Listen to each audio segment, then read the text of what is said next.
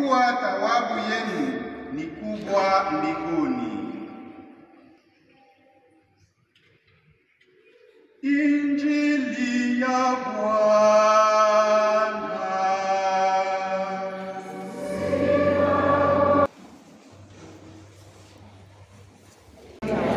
Na kila wakati, kwanza kabisa nataka kuwaalika nyinyi nyote tuungane na Wakristu wa nchi za Kongo DRC na South Sudan waliojitarajia kumkaribia kumkaribisha Baba Mtakatifu Papa Francisco mwenye pia anajitarajia ili afanye safari katika nchi hizo.